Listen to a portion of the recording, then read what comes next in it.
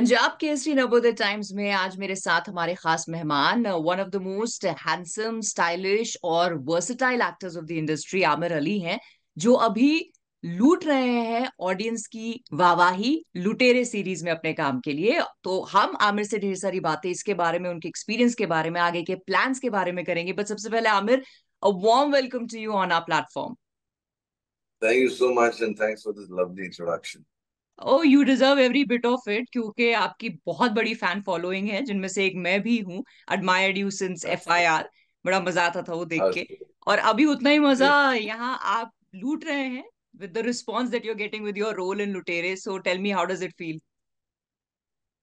You know, I uh, I took a break from television to do these kind of shows. You know, जब जब हम Breaking Bad जब मैंने देखना शुरू किया था uh, I think that was one of the first OTT uh, shows I've seen internationally.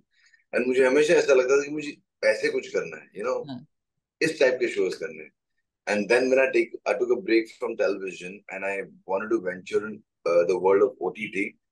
It took some time. It wasn't that easy because मैंने television का mountain तो climb कर लिया था, and I was doing pretty okay for myself. But now this was a new beginning for me, and um, there were a lot of ifs and buts and waiting. Waiting patience was the most difficult part. But had to because when I break I had to do this kind of work and I could not be doing anything else besides this. Mm. So I wanted to work with these kind of makers, wanted to do these kind of shows. उसके लिए बहुत साल रुकना पड़ा in fact actually. I'm Correct. very happy with Lutere. While I was shooting Lutere, I knew that we have gold in our hand.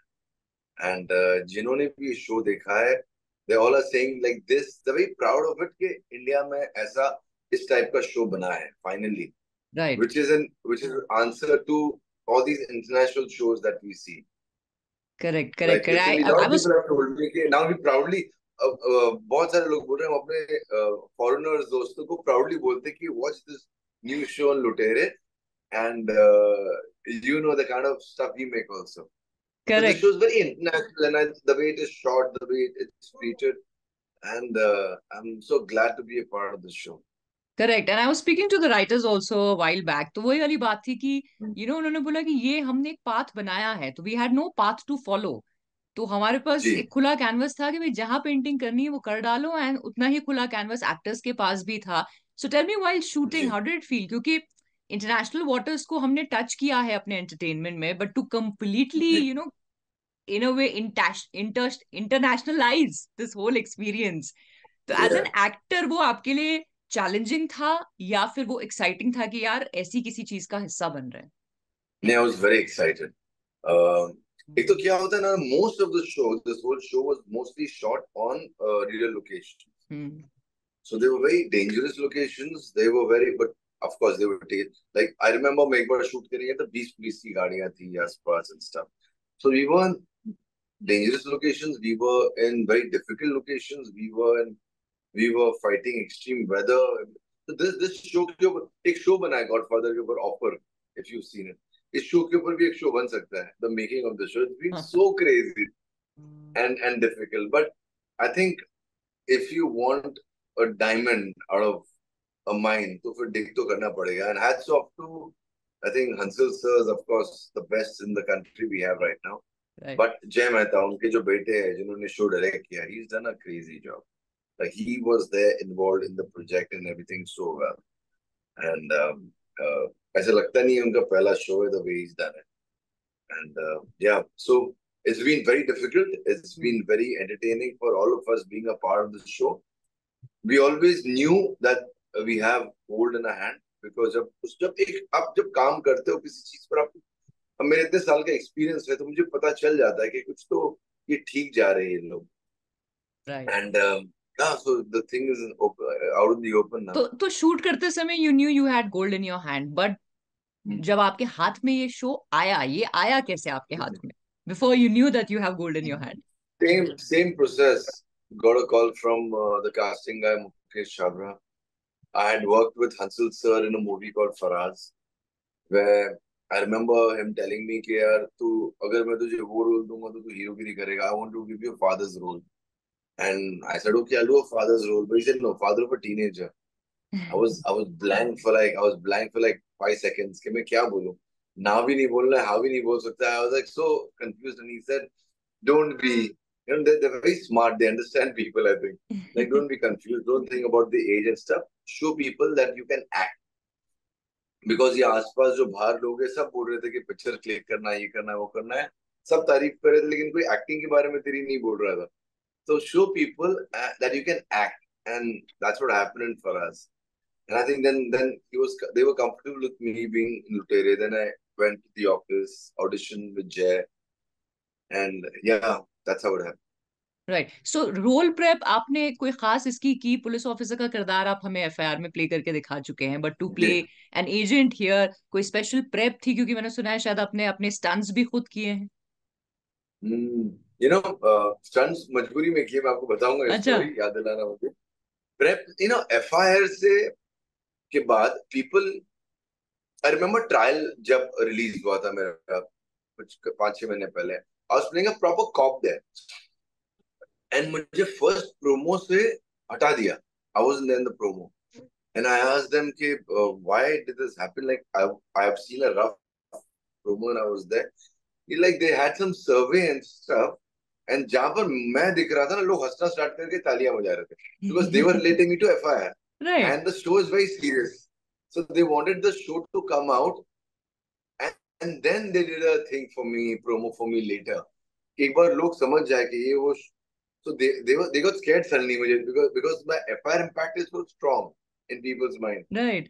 So trial was a, a very big challenge where people actually accepted this guy as a as a serious cop. Coming back to Lutere, I was playing in I'm playing an agent, an mm. Indian High Commission agent who's punished in Kenya and for whatever rogue uh, he's done for right. some something he's done, he's punished for that.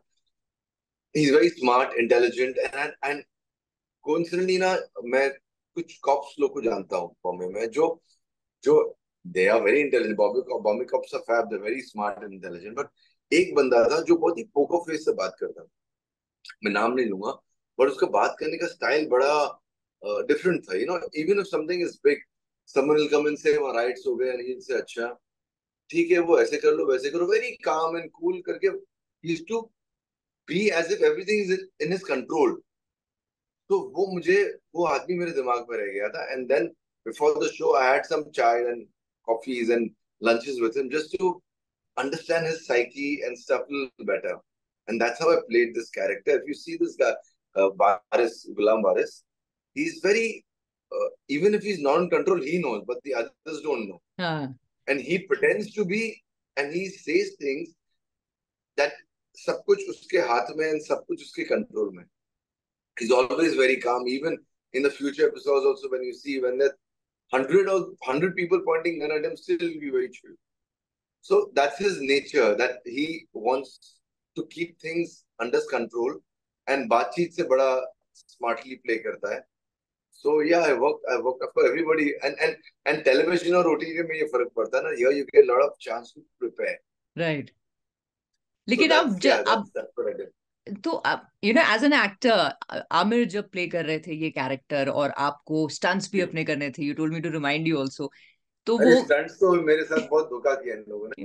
I tell you क्या हुआ। So first day stunts मैंने uh, किया and the stunt guy was there we were shooting this place for Khayelitsha it's a black dominated as big as Dharavi. Uh, you can google about it. It's it's huge and it's it's very dangerous. very, very, very dangerous and scary. So second day onwards, that my stunt guy didn't come because uh, climax man, there's a crazy car chase. छोटे छोटे तीन तीन metre चार चार metre की road पे साठ सत्तर की स्पीड में भगाना है रास्ते भी ठीक नहीं है it's literally like a video game happening and the main the main stunt coordinator he is done Mad Max and all these films तो scene he comes up to me and says that we want you to do the stunt. I'm like, but it's very dangerous. He's like, no, but you driving so good and camera will come on your face and ये वो ये वो करके मुझे उसने बनाया और मैं भी एक्टर था चढ़ गया थोड़ा हाँ यार दो मैं स्टंट ये वो करके they know how to do it so पाँचवें दिन जब शूट उधर खत्म हुआ रैप अप हुआ सब ताली मार के निकल रहे थे तो देखिए मैं आपको मेंटोर में यू बड़े वो तारीफ़ वारीफ की मैं अपनी तारीफ़ नहीं करूँगा स्टंट देखना uh, Karchi बोला but that uh, Gora stunt guy guy didn't come because you were scared to enter. That's how we had asked you to do it. so basically, my stunt guy refused to come in that location. तो उन्होंने मुझसे कहा और आपको इस location की के बारे में पता था कि भैया डेंजरस है या ये भी नहीं शूट के टाइम पता था नहीं नहीं पता था पहले पहले दिन तो मैं गाड़ी से नहीं निकल रहा था मैं तो थोड़ा डरा हुआ था लेकिन मेरे आसपास के लोग हैरी और दे दे वेरी जो एक्टर्स थे वेरी चिल्ड वो लोग बाहर निकल के पान बीड़ी स्टोर से सिगरेट ले रहे हैं stuff and I am like यार ये लोग so I think those guys also now get the vibe when they realize that these guys are so chilled and so calm they also were not intimidating otherwise mm. they were initially first आधा घंटा तो मैं ऐसे खाली shot देने के लिए निकल रहा था with lot of security but then I also was chilling and stuff and then जब गाड़ी भी हम कर रहे थे they knew these guys are there they are their buddies and their friends तो सब दोस्त दोस्त हो गए थे वहाँ पर राइट राइट अच्छा आमिर अगर आपकी जर्नी की बात करें तो बहुत सारे एक्टर्स हैं जो टीवी से शुरुआत करते हैं फिर फिल्म्स की तरफ़ जाते हैं ऑब्वियसली नाउ ओटीटी आ गया है। आप उन रेयर एक्टर्स में से हैं जिन्होंने अपना ट्रांजिशन फ़िल्म से टीवी की तरफ़ किया फिर फिल्म्स की then you waited and took a sabbatical कि आपको अब ओटीटी स्पेस में जाना है। तो ये जो अब सीमलेस हो गया है back then when you started it तो कितना डिफरेंस आप इसमें देखते हैं, एक प्लेटफॉर्म से दूसरे प्लेटफॉर्म में तब जाना वर्सेस अब? बहुत डिफ़िकल्ट है। जनरली बहुत डिफ़िकल्ट है। सी क्या हो जाता था ना when I was doing TV I still in fact I been very lucky and blessed television has given me everything security whatever I am today I am because of television they still call me once in three, four, five months, you know, kabhi kuch show aata hai, they still call me, hey, would you be interested? But I'm on a break from TV. I'll never say कि मैं कभी नहीं करूँगा whatever. I can never look down upon television because that has given me everything. And you know, you can't look down upon things that have given you. Like I can't right. look down upon my first job. I was a cabin crew. My first job. I always feel that was that was my baby step towards where I am today and what I am today. And um, yeah, but I've taken a break for my creative satisfaction. It's not for uh, anything else because I want to do these kind of roles. I want to do that those kind of shows. So it's for my satisfaction. It's very difficult because uh, like initial days, जब मैंने TV से break किया when I was meeting a lot of people, the directors and like a lot of them who had said कि you know we want to work with you. सब कुछ मिल रहा था. But OTT space में सब तारीफ़ कर रहे थे मेरी पुराने काम की मेरे इसकी लंचेस कर रहे थे डिनर्स कर रहे थे बहन और मम्मियों से बात कराते थे लेकिन काम कोई नहीं दे रहा था because they they always you to there is something coming up but you to hero you to hero for this no one took me i felt no one took me and understood me as an actor they always took me the way i was the way i was on television so wo break karna mujhe bada difficult Mm. And I always felt that, you know, I require these makers with balls, I say, who have who has who have courage, who have this courage to make a change, to make a difference, and they go all out. And I think Hansel sir is one of them.